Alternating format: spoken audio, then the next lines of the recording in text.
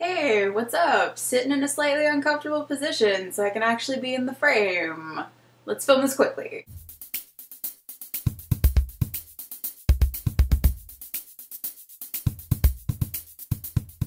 So today I'm going to be doing the unread books tag, which has been going around lately. And I thought it'd be neat to do it in a way so you could actually see all of my unread books while I'm doing the tag, which is why I am currently kneeling next to my bookshelf like a weirdo. This tag was created by book reviewer 21, I believe is the username, and there's only five questions, so let's get started. Number one, how many unread books do you own? I like to keep my unread books separate from my read books, so this is pretty easy to answer. These three are unread, then all the rest of this shelf, then all of this shelf. Then there's the overflow pile that generally is where I am sitting right now. And then there's the stuff that I pulled for this month's TBR. The short answer is 66. Question two, how many books do you own that you have read? I decided to go on Goodreads and do some math rather than like actually physically count them. So according to Goodreads and my math, which are both fallible, I have 178.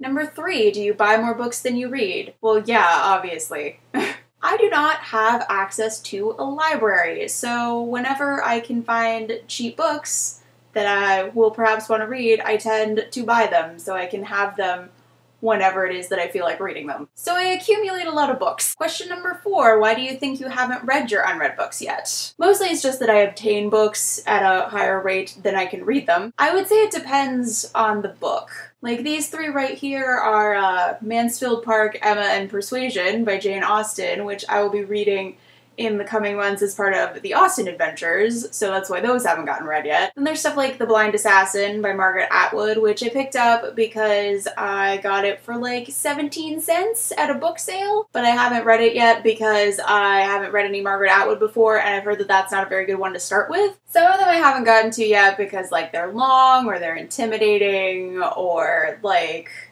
in the case of Little Bee or The Brief Wondrous Life of Oscar Wilde, like I know they're gonna be awesome, but I also know they're gonna be emotionally devastating, so I just haven't gotten to them yet. And finally, question five Are you going to go on a book buying ban? Ah, uh, sort of. My unread books have now reached uh, the highest number that I'm, I'm really like comfortable having them at. Like, I have to keep it uh, at or below a certain number, roughly, or else I start to get really overwhelmed by choice. So like I'm not gonna officially go on a book buying ban, but I know that if I buy any more books right now, I'm just gonna get anxious. So I'm probably gonna go into avoidance mode right about now where I just do not even go anywhere near places you can purchase books. Okay, that's it. That's the tag. My my legs are falling asleep. I have to go. I'll see you tomorrow. Bye.